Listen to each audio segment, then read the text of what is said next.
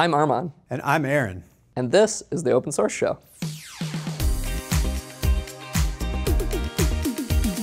I'm Aaron. I'm a cloud advocate at Microsoft. And I'm Armon, one of the co-founders and CTO of HashiCorp. We're here today to talk about security and open source. So these things, just right out of the gate, they seem kind of at odds. And I think when we typically talk about security, we don't think about open source software. We think about closed source, proprietary. And so I think you're totally right. They don't necessarily blend. But you have a lot of experience in this kind of realm, I guess the intersection of open source and security. HashiCorp is a very open source oriented company. Every product that we make is open source. And so when we went out to create Vault, which is our open source or security product, it was natural that we would do it in open source. So it didn't seem odd to us because everything else we do is open source. But I think for the broader sort of security community, it definitely seems strange. And I'm sure we've all committed this crime, which is we're writing our application and we're like, oh, I need my database password. So I'm just gonna create a variable and put my username and password and just hard code it in my application source code. A best practice is not to copy and paste your database password into your source code. Am I right? Yeah, exactly, Okay, right, exactly. And note to viewers, do not do it at home. Do not do that at all. Though we've all done it, right? Yes, And I think that particular pain of like, okay, well, I need this database username and password. So where do I put it? Like, it mm-hmm. has to come somewhere. I either put it in my source code, I put it in a config file, I put it in sort of an environment variable. I have to put it somewhere. Yeah. But none of those are actually secure places, right? Like, if I put it in my source code, well, anyone who can look at the source code can see it. This is you know, a problem we like to collectively refer to as secret sprawl, right? Sprawl, okay. And the reason we call it that is like you have these secrets,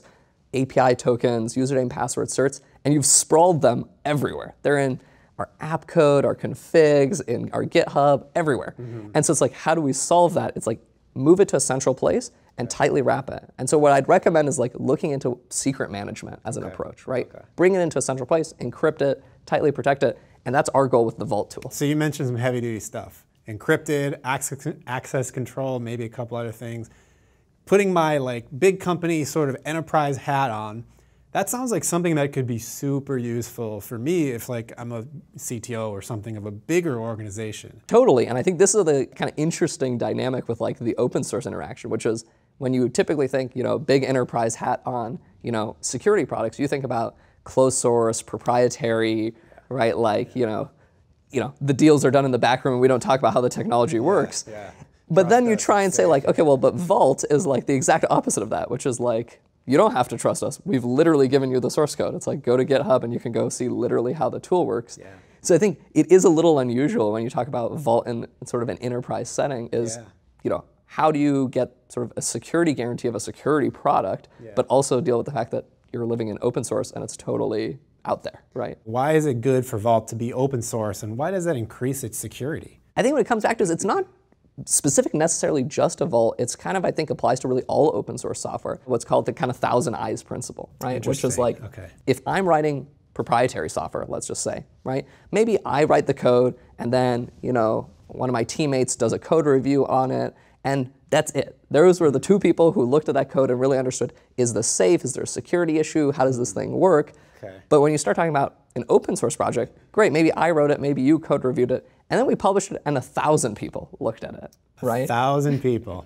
Okay. And so this is that notion of the thousand eyes, is it's like it's not just you as the authors or maintainers, it's the entire community that can now look at the code, audit it, find issues in it. So let me go grab my imaginary devil's advocate hat. Okay, we've got a thousand eyes on the project, right? Let's say that two of those eyes, they are hackers, right? Right. Or they're, they're just you know looking to mess stuff up, and they see a security vulnerability in, in Vault. What happens then? It's a super good question. How do you maintain these open source projects in a way that you can leverage the community hmm. to increase everyone's security? Common practice is what's known as responsible disclosure. Okay. right? So great, if I have a thousand people looking at the source code, you know, of those, maybe you know, two of them are attackers, but you have 50 of them who are security researchers who are oh. going to find issues oh. and are going to report back to you and say, hey, we found this bug or we found this sort of possible attack against the tool. And so how do you enable them Yeah. to improve the product? And that's Okay. all about responsible disclosure. The worst case scenario is that those people post on a GitHub and say, by the way, everyone, like here's a huge issue that you can use to like hack the system. Oh, yeah. Right? Like what you want is that they come to you as a maintainer and say, hey, we found this issue, here's a possible patch.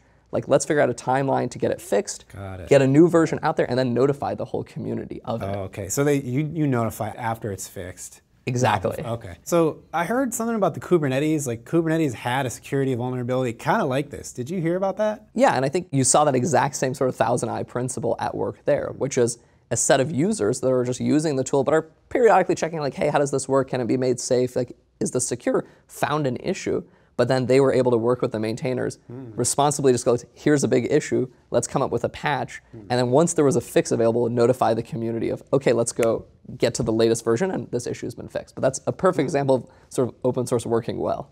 So that sounds like a really good like interaction between the contributor and the maintainers.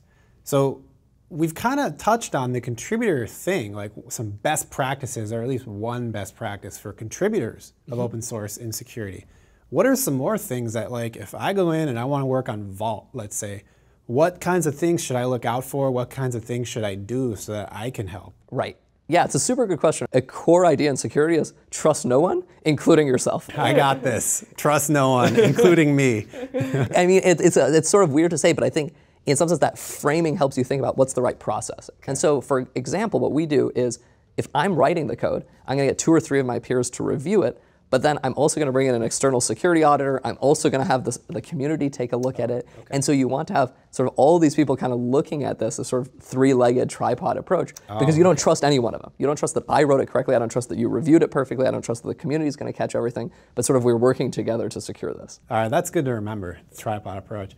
But if I'm a contributor or maybe I'm a maintainer on another project that's not security related, is there any other stuff I can do to make sure I don't compromise some infrastructure that my product needs or somebody else's credentials? Or security is it's a whole universe, right? And we step back from saying, maybe I'm not a contributor to Vault, I'm just a developer on a different project. I'm writing a web service, right? How do I think about the role of open source there? And you know, I think there's a few aspects to it, which is like, just like everything, you have to stay up to date with your dependencies. Mm. Like the Kubernetes example is a great example. Like, let's say I'm using that, but I decide, oh, I deployed it, it's working fine, I'm just not gonna pay attention anymore.